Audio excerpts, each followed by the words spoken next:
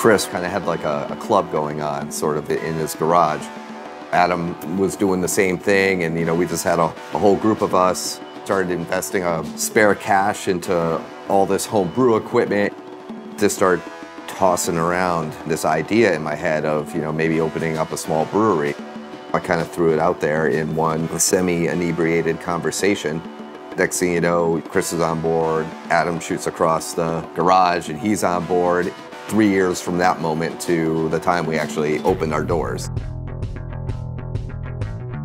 At a, a young age, I was really into uh, you know, heavier music. A lot of, you know, driving rhythm, you know, some would say sounds a little angrier. The albums and everything had, you know, a lot of visual appeal. There was a lot going on, you know, you always wanted to grab the, grab the book and like thumb right through it and see, you know, all the pictures and what was going on inside and all the, the artwork in there. And I had a few friends that were starting a band. There happened to be a PA system there.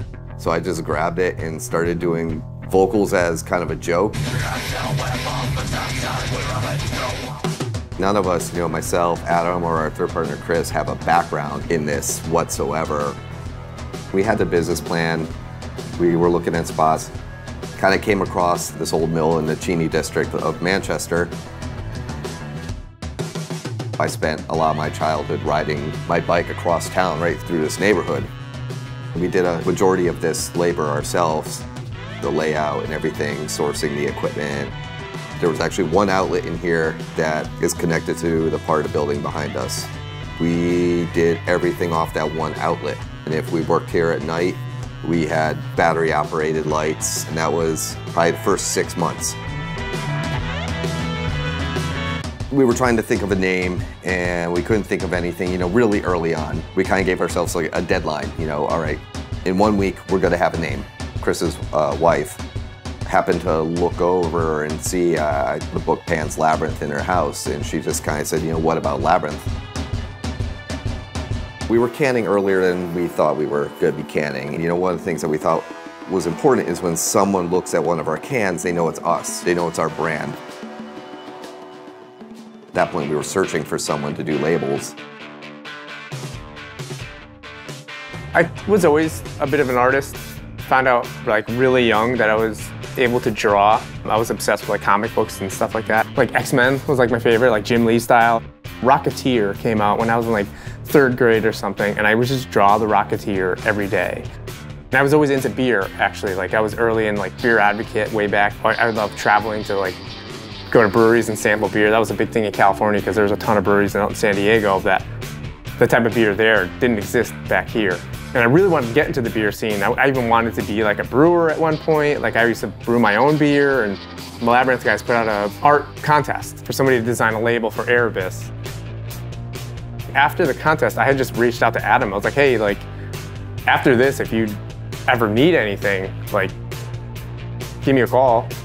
And he's like, yeah, sure, whatever. And then I think a year later, they're like, hey, we're gonna can some beers. You wanna, you wanna lay, uh, you know, you wanna help us brand them and design them. And kind of been it ever since. That artwork sort of represents who we are. It could be, you know, artwork for any like band's album. From like writing lyrics to like writing a beer recipe to naming the song to naming the the beer itself, it's they're almost parallel. So, you know, sometimes it's, you know, it's the mythological stuff. Sometimes, you know, we're looking for a name that sort of describes the beer. I kind of approach it like each can label is it could be artwork for a metal band.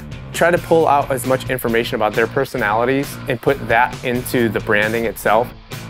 There's definitely a couple where we're like, well, uh, we're uh, we need to order these labels. We need to get Steve something uh, so he can work on it. And we're like, uh, all right, well, this is the best we got. so, so that's what it is right now. 16 ounce can, it's like a two and a half inch wide area that, like, if you're looking at it in the cooler, that's all you're gonna see. So you know, how can I optimize that space and fill it with a big, like, punch you in the face image, somebody walking by will have to see it.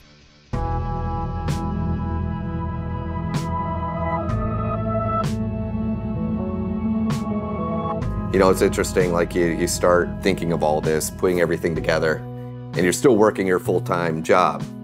But then it's really real the minute you walk out that door for the last time, and you're like, uh, wait a second, I'm not coming back here on Monday. we'd rather be doing this. We're passionate about this. We own this. If you know you really want to do something and you don't bother pursuing it, how are you going to feel about that in 10 years? Are you going to look back and just regret that you didn't take that shot?